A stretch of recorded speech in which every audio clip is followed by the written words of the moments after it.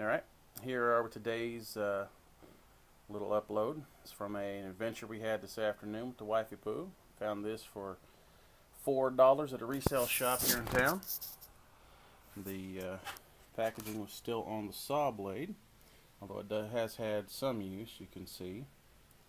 Not too bad though.